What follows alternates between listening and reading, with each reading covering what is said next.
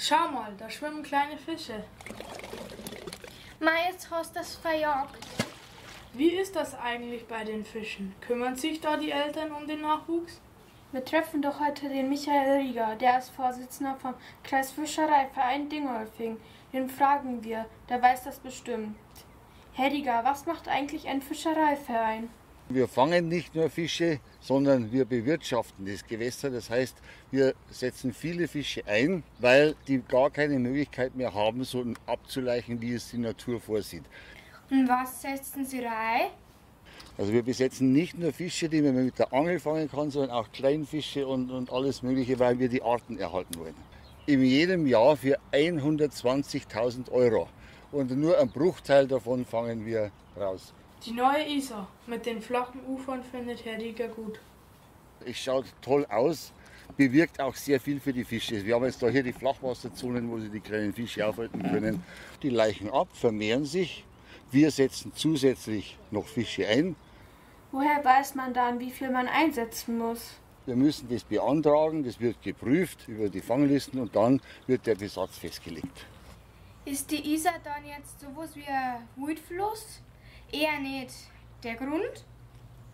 Die richtigen Kiesbänke, wie sie eigentlich in der Isar sein sollten, gibt es nicht mehr. Der Kies wird aufgehalten durch die äh, Staustufen. Sind die Staustufen auch für die Fische gefährlich? Früher sind die Fische auch hochgezogen zum Leichen, zum Beispiel die Nase. Das war ein Fisch, der in der Donau lebt und der ist zum Ableichen in die Isar und in die Nebenflüsse gezogen. Und jetzt durch die Staustufen ist halt dieser Zug entbunden, äh, abgeschnitten worden. Und ja, jetzt gibt es halt nicht mehr sehr viele. Und wir besetzen die aber. Welche Fischarten leben hier bei uns? Das haben wir doch in der Schule gelernt. Irgendwas mit B, glaube ich. Die Gewässer bei uns äh, werden eingeteilt in die sogenannte Leitfischbereiche. Also der Fisch, der sich da am wohlsten fühlt, der gibt es vor. Also zum Beispiel bei der Isar, ganz oben im Gebirge, wo sie anfängt, das ist die Forellenregion. Dann, wenn die Isar schon ein bisschen breiter wird, da kommt als nächstes die Eschenregion. Die Esche ist auch ein Fisch, die kaltes Wasser, sauerstoffreiches Wasser braucht. Dann kommt als drittes die Barbenregion. Das hier ist jetzt Barbenregion. Allerdings, und das ist jetzt das Gemischte, die letzte Region ist die Praxenregion. Die Praxe ist ein Weißfisch, der schlammigen Grund braucht, eigentlich am besten fast stehendes Wasser. Und hier in die Stauseen, die wir natürlich haben, das ist dann schon praktisch Praxenregion. Bei uns ist es gemischt. Und dann leben natürlich gesagt, noch Zander, Karpfen, Hechte, also eine bunte Vielfalt.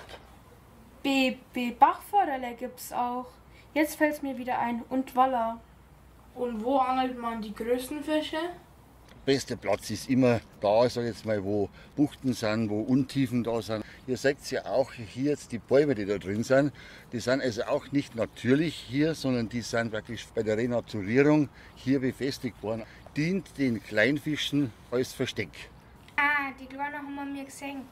Wenn man sich vorstellt, ein Karpfen in der Größe legt ungefähr eine Million Eier. Und von diesen eine Million Eiern kommen vielleicht zwei oder drei in das Alter, dass sie überleben. Was ist eigentlich so toll am Angeln? Angeln macht Spaß. Mancher glaubt, Angeln ist langweilig. Das stimmt auch, aber das ist genau das Schöne, dass man einfach sagt, ich kann einmal entspannen. Also man sieht die Natur und wenn man dann auch noch einen guten Fisch fängt, dann ist es noch schöner.